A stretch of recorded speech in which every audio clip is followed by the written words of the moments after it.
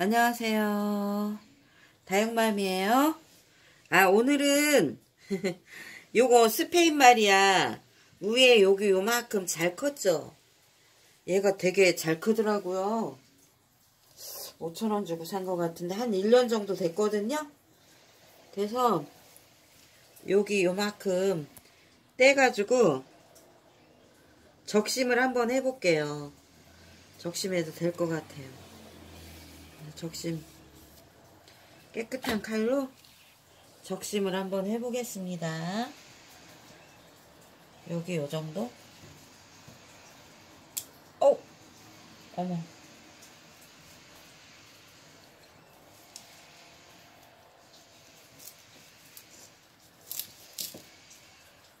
우 이렇게 와 물이 꽉 찼어요 무슨 알로에 같으네 와. 여기 떼어내고 커팅이 잘 됐죠?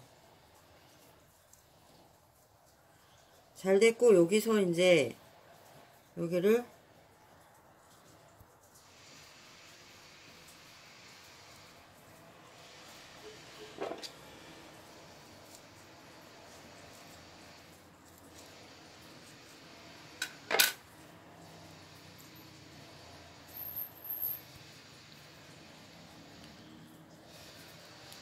더 이쁘죠? 그죠? 이렇게 이렇게 딱 심으면 딱 좋을 것 같아요. 근데 얘는 항상 여기 끝에만 살짝 물드는 것 같아요. 전체 이런 데가 물은 안 들고 스페인 말이야 실생인데 여기 조금 마르면은 한번 땅에다가 이렇게 화분 상토 위에다가 얹어 놓으면은 뿌리가 내리겠죠? 더 이쁘죠? 잘라주는 게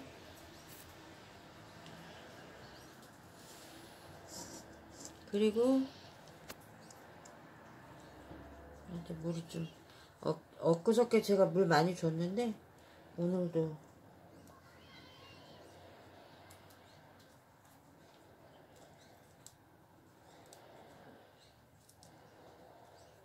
해가지고 여기를 이렇게 이렇게 더 이렇게 칼집 흠집을 내주면 뭐 더 자구 많이 생긴다고 하더라고요. 그래서 저도 한번 해봤고 많이 생기나 이렇게 해서 여기 이제 몇 달 조금 시간 지나면은 자구가 나오겠죠?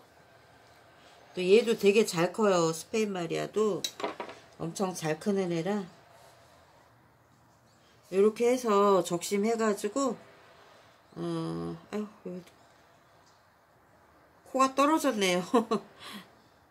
번식을 한번 해보겠습니다. 창, 창 종류 스페인 마리아. 그래서 화분 위에 조금 말렸다가 이렇게 이쁘죠? 그죠? 더 오늘은 마리아 적심해서 이렇게 번식을 한번 시켜보겠습니다.